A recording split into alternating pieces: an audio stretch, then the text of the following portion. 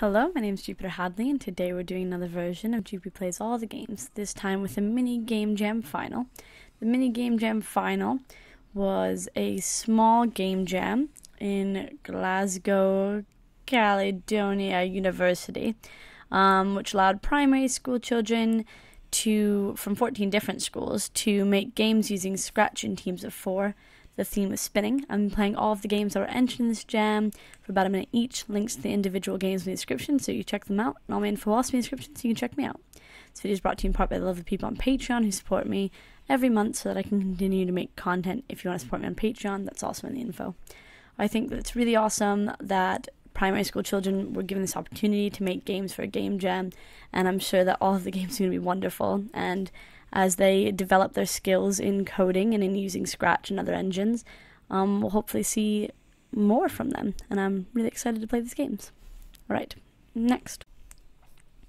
First, we're playing Fidget Ninjas. All right. Ah, this is a two-player game. Okay, I don't know what the controls are because they're not listed. So we're gonna play around with things. Ooh. Ah, so you can kind of dodge. How do we do it? So for red, it's A and D to move, W to go up, and then S to throw a fidget spinner. For blue, down doesn't throw a fidget spinner.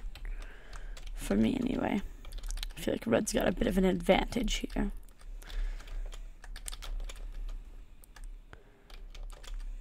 Do we throw a fidget spinner in the air? Yeah. It's kind of cool that when you throw a fidget spinner in the air, it does sort of come down at an angle. I do very much like the melancholy look on these ninjas' faces. Red Ninja wins. And the background's really nice. We're playing Apostrophe. Was no title other than that. So, yes. Okay, so now we're at school. I'm not sure what the controls are though. And they just sort of restarted it, I think. Scratch rocks. These graphics, again, are really nice. Hmm. I'm just not sure what to do. If I push up or space, it toggles between these two rooms, but it also, if you look up here, I don't know much about Scratch, it also switches between those, and if you hit the flag, it restarts. So I don't really know what the stop sign does. Hmm. But these graphics are exceptionally well done. The bushes, you can tell what everything is, and it's all very clean and nice looking. My score is zero. Clicking doesn't seem to help. Hmm. Next. We're playing Fidget Jumper. Uh, I've already died. Okay. Pretty sure I'm dying just instantly. Yeah, because I am restarting the game and then getting caught. I'm trying to figure out the controls. So these fidget spinners seem to go in a specific pattern. Now I'm in the middle. Why'd I go up? Hmm. Weird. I'm not sure what causes the ball to go up because sometimes it's like space or enter.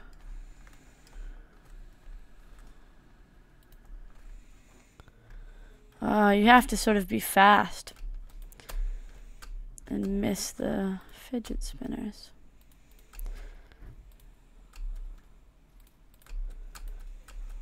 Hmm. So I guess the idea is I'd stay up when the blue one isn't hitting me and then go down when it's clear so I could stay for the green one to rotate and just keep dodging for a set amount of time. Hmm. Pretty cool idea. I like the starriness, the star look on these fidget spinners. And I like the background as well. Next. We're playing Spinner Dash. Ooh, I'm this guy. Okay. I'm supposed to be dodging all of these things. I think I get points for hitting the fidget spinners. Not the dice. My target is 55 points. Game over. Thank you, guy. I appreciate you telling me. So, if we play it, we can make the target 100 points. And basically, you just want this caterpillar creature to stay on top of the fidget spinners for as long as possible. I made the goal. Alright, oh. I like this butterfly creature. He's super cool looking. Ah, it's a fidget cube. I was like, oh, the dice has a weird side on some of them, but it's a fidget cube versus fidget spinners. So clearly fidget spinners are better. Next. We're playing Fidget Dash. Alright, yeah, Fidget Dash. I don't know how to play though. Hmm. Maybe I can't play currently? The dragon's pretty cool, and the colors used for the background are interesting. It looks like the fidget spinners would be racing to this end line away from the dragons or something. But literally no button will do anything. So maybe they only got like one screen done. Probably spent a lot of time cutting out that picture of a fidget spinner. Because it looks like a, an image that they tried to get cut out perfectly, which takes ages. Hmm. It's a shame that I don't know how to play it though. Next. We're playing spinning around. So I think we want to spin it to. Oh, wait, listen up. Start with four. Ooh. How old was the queen when she rose to fame? To, uh, rose fame? 25, 23, 21. 21? Uh oh. 5 times 9. 45, yeah. No. 5, 10. No, no, no, no. 7 times 9 is 45. 45. Which one was 45? Crap. Yeah, I think it was 1.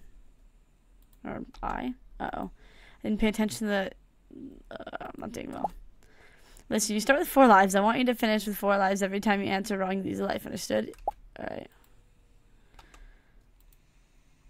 How do I go to the next bit? Okay, so seven's a question. Five times nine is 45, which is A.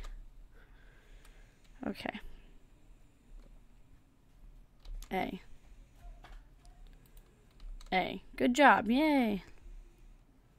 What is the book most used in primary schools? Not Twilight. Jin. I've never heard of that. The Silver Sword. Uh, the Silver Sword? Nope. next question. Oh, I ended up uh, restarting instead of doing next question.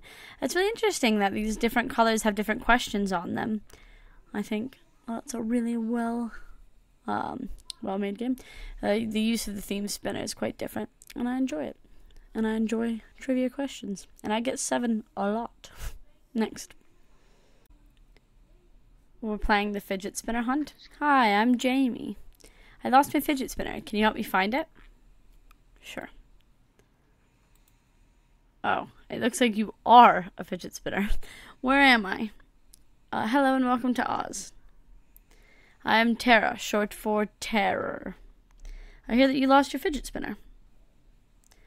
I was the one who stole your fidget spinner. what? You stole it? Yes, you deaf munchkin. That's kind of rude. Munchkin, I'm much taller than you. By the way, can I get my fidget spinner back? Only on one condition. You must answer my five math questions. Why can't you just give me a fidget spinner now? Because you're very dumb. no, you dumb idiot. Here are the questions. Nine times nine. 81, right? Correct. You may answer my next question. What's 12 times 11? Um, 143. I don't actually know. That's not right. That's 12 times 12 is 144. 132. Uh, this is just the case. What's 56 divided by 8? I am not good at mental maths. It's been a while since I've had to do these things. I like how she's now teasing me with the fidget spinner. I like the colorful background. Next. We're playing the Fantastic Four. Um, this character. Oh, I don't want to touch the witch. That's bad. Okay, do I want to touch the ball? Yes. I get points for like getting to the soccer ball, I think. And it's just collecting however many points you can. Ooh, the background changed. Okay, we go this way. No, it doesn't loop. Now in the desert. That's cool. So there's a bit of progression here if you get different points. You won! Thank you. That witch is just spinning away. It's no match for me. I wonder how many points I can just get. So it's a short game, but it was really nice. Had a win and, I guess, a lose as well condition. And it flipped through some different level screens. Next. We're playing Speedy Spinner. Alright, so this is a two-player game, I guess. So this is up and down is one, and left and right is player two. What? That controls the same spinner, though. Ah, uh, I get it, I get it. Sorry, sorry. So the fidget spinner is controlled by one person, and the bat, which I'm just gonna, is GHF. Okay. GHF SD. That's, the bat's controls are a bit hard. Do they fight? Are we trying to spin the bat? It's a fidget spinner. It spins.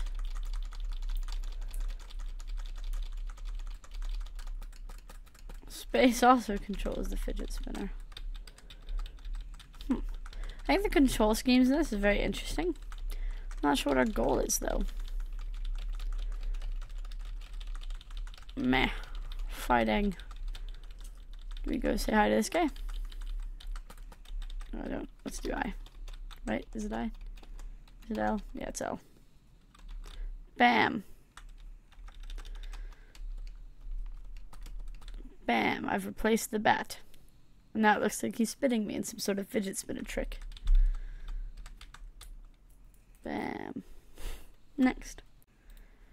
We're playing Fantastic F which looks like the start of a breakout game. Oh no. Oh, game over. the end screen and music was not something I was ex expecting. So we're kind of keeping up this bat symbol and making sure it doesn't fall for as long as possible. And if it falls, Joker wins. That's really cool. If they had some uh, little things for us to hit, Oh, why game over? Okay, last 20 seconds. Congratulations, I won. If they had some things to hit for us to collect, that'd keep things going longer. But yeah. It's the first one that has like some sound in it. It's pretty cool. Next. We're playing Fidget Chase TM2. Oh, it's another two-player game. It's very interesting the uh, number of multiplayer games that were entered in this jam basically the hammer, I think, and the fidget. The hammer can go through walls.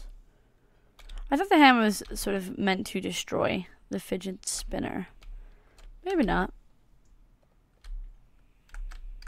Hmm. Okay, so the spinner is supposed to collect all points, which I'm guessing are these dots. I don't really know how to collect them. And the hammer is meant to destroy the fidget spinner but avoid lightning, which I'm guessing is the point. And then ideally, they'd run around this maze and not be able to like go through walls and sort of try to chase after each other and stop each other from getting all of the points, which is a pretty solid game idea. I'm not quite sure how to collect the points or do anything like that, but it's definitely a good start. They've got the layout done. I've got the characters moving. We're playing Progress of the Empire. This game contains flashing images, so if you can't do like intense flashing, then click the next time in the description. It's just a bit intense for me, even. This one, yeah. Alright, player two. What is uh, nine? Did I get it? What's the next question? Oh, I didn't answer that. Nine. I don't... Yeah, it's nine.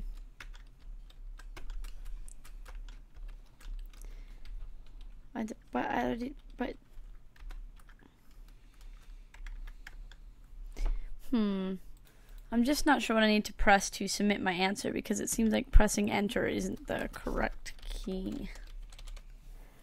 In the midst of all this flashing. Okay, it's it's nine. Nope, it's it's nine. Hmm. Again, I like the idea of sort of answering questions and taking this more educational route. The soccer balls and the different colors are very nice. And it's another two player game, which is pretty cool. I have to outsmart the other player. Next. We're playing spin in, spin out. Oh, press flag to restart. Okay. So I am this fidget spinner, and I must collect tornadoes, but avoid this not so friendly looking shark. There's a lot of them now. Ah. Alright, we'll try again. Point six. Alright, get this one. That guy kind of gets stuck over there, so that's fine. See, that shark gets bigger when it bites. Which is scary. I think both of them do, but that one gets really big. Ah. Ah. ah. I like how the sharks are also in the hospital. That's kind of funny. This is the last game entered in this gem. So, yeah. It was pretty interesting seeing what these students came up with in such a short amount of time with the theme fidget, like the fidget spinners. I'm very excited to see what they come up with in the future as they continue to make games, whether it be for jams or for bigger projects. I wish that I could have taken part in a game jam when I was at school. Right. That's it. Bye.